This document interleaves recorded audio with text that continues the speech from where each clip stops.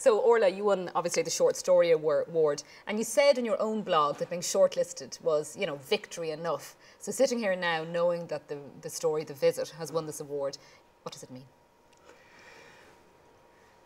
Well, yesterday I didn't think it meant that much.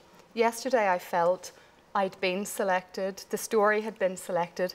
It's a story from my first, my debut, which is The Accidental Wife, and I felt that really I had achieved everything. The story had achieved everything mm -hmm. that it needed to achieve. It had been picked by a jury of judges, and I was happy with that. Now I've changed my mind. I, I am thrilled. I'm, thr I'm flabbergasted. It's an enormous vote of confidence in a debut writer and a very new writer because um, my first publication was in 2013, I think, which is a blink of the eye in a writing career. I was just looking at John and some of the other superstars that we have out there tonight, and I am really a beginner, and it's an enormous vote of confidence, and I couldn't be happier for the story and the story, The Visit, um, circles around an experience of a gentleman called Allo O'Donovan. Allo is, without a shadow of a doubt, my favourite character. I adore him, I love him, and people keep asking me, would I not expand Allo? And Would I make a novel? Would I, would I write about Allo? And sure, maybe I will. So you'll be back as the winner of the novel of the year. Is that what you're telling me? Please God. The Visit is a tough story. It is, yeah. You know, it's very much set in the north, mm -hmm. your territory, it's unflinching. But it's a story that didn't get published in Ireland. You got publishers in America. Yes. Talk to me a little bit about that.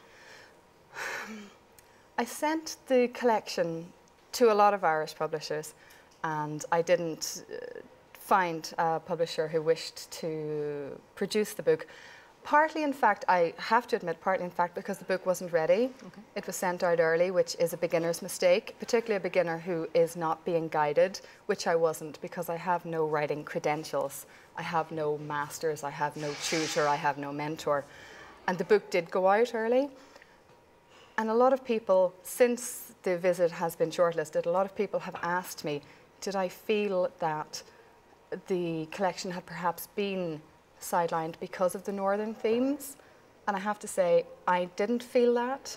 I never felt that at the time. But so many people in the industry have asked me if that were the case mm -hmm. that I don't know the answer to that.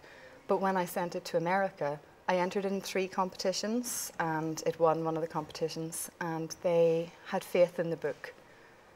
And uh, so do I. And we have faith in it too. Thank you. Yes, yes.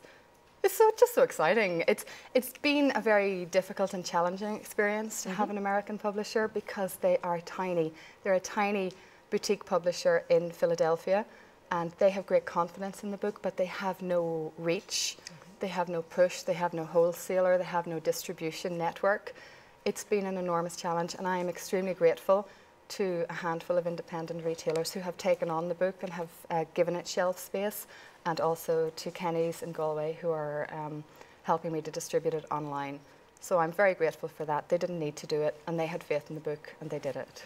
Orla, take you and your award and Allo, and off you go and write a novel about him. And we'll see you back here again. Take care. Please God. Huge congratulations on winning the Thank short you. story of the year. Thanks very much.